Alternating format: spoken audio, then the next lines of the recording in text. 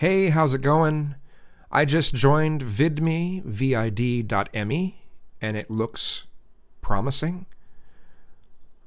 I've even seen, uh, let's say, if we go to uh, uh, Johnny Infidel, who I believe was kicked off of YouTube, is here um, and is uh, talking about free speech. Um, not that I think his channel's great or anything, but I was just trying to find some, maybe, you know, quickly find some content that I thought might have been, uh, you know, removed from YouTube, and I did. Um, or channels that had been removed from YouTube. On this site, they say uh, community rules, no porn.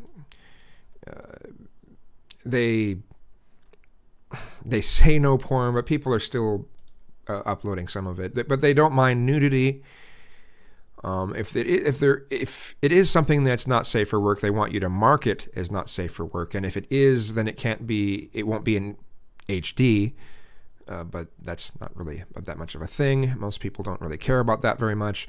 No hate speech. And if this was Google making these rules, we'd be worried. But you know, I have a feeling this company will be reasonable about this stuff. No videos that promote racism, bigotry, physical harm of any kind against any group or individual. Don't share other other people's information. No spam, no stolen content, and excuse me, mark your videos not safe for work if they are not safe for work. Upload specs. Um, 1080p. Uh, they tell you the uh, uh, the bit rate that's desired. Uh, you can do 60 frames per second video. Uh, you know, they they they support almost all uh, video containers, but they do recommend MP4s, AAC uh, audio encoding, H.264 video codec. Um, earn money on this site. they're working on ways that that can be similar to how people make money on YouTube. They say, We're working hard on finding new ways to help you earn more cash for your videos, including ad revenue sharing, licensing, fan rewards, and daily prizes. Since the creator program is still pre launch, the specifics aren't available just yet, but sign up here and you'll be the first to know when they are. Um, so, you know, that all looks good. Um, they seem to be. Um, it seems to be a fast site. It's, I mean, what was that? Trip, Trip Host, Drip Cast, Blipcast, Tripcast. There was some site that came out for a while that was trying to be competition to YouTube by trying to be what YouTube used to be, and it's just like, eh, and it was slow as molasses.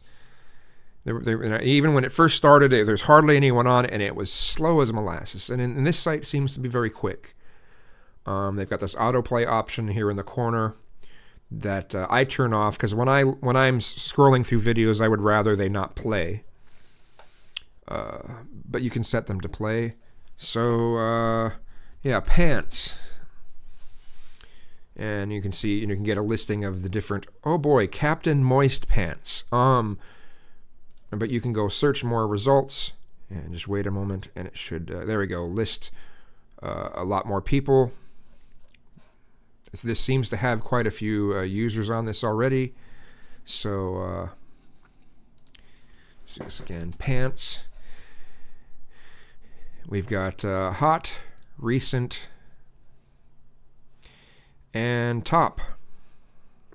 Hmm.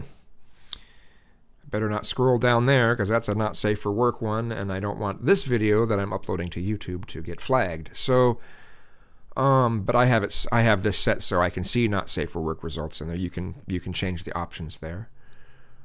Um, so this looks pretty promising. Um, and in the comments section, I was seeing a lot of the types of uh, comments that would normally be considered mean on this platform that will probably in the future be uh, be removed. Um, you know, with the route that YouTube is going. Um, I'm going to remain on YouTube, but I'm also going to go on this site too and just see how this goes. This looks pretty promising. It certainly looks more promising than Minds.com with all that. Uh, oh, earn these points and, and you can buy points. Oh, great. So you can buy your way up to the top. Great. You know, this site doesn't have, have things set up that way, at least not that I can see. Um, so, you know, it looks promising.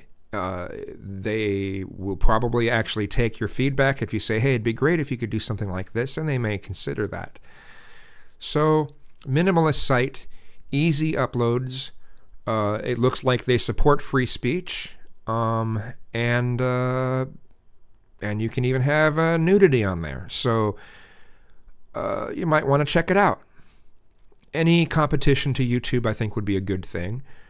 And you know, the way I'm looking at it is with these changes that they're making, that YouTube is making, um, it's going to. People are going to need some sort of alternative. And I think this will be a perfect time for VidMe, especially once they get the. Uh, the, the you know revenue sharing ad uh, stuff on here. So check it out.